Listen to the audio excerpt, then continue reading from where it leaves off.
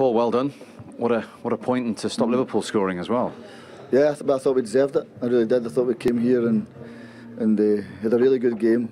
Uh, planned the way, the way we wanted to play, and, and but the endeavour and the commitment, throwing bodies into the challenge, and might have sneaked it if Ryan got in the end of it. But the performance of the team was was outstanding.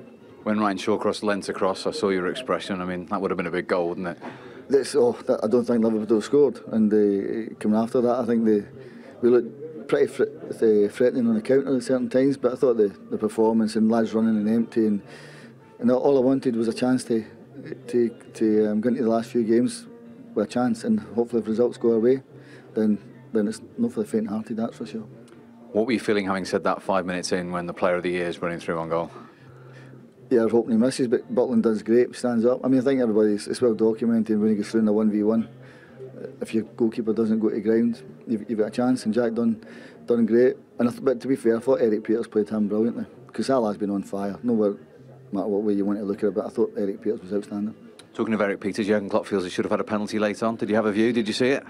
Yeah, listen, if that's a penalty, and then uh, we may as well all just have left. The, the ball's the ball's travelled. I don't know, 30 yards, whatever it is. It's, it's never a penalty. I think, yeah, I can understand Jurgen's um, frustration of it. Massive club, massive fan base behind it. One foot in the Champions League semi-final. But um, nah, listen, I, I think it's it's no penalty.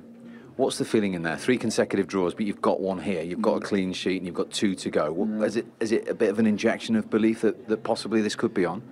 Steve, I, I couldn't ask any more for the way we've been playing. I really couldn't. If, if we had the top end of the pitch sorted, and, and I'm talking about right across it, there's no way Stoke would be in this position. If the lads had played like that from the start of the season, one, I wouldn't be here, and two, they would be cruising in the league.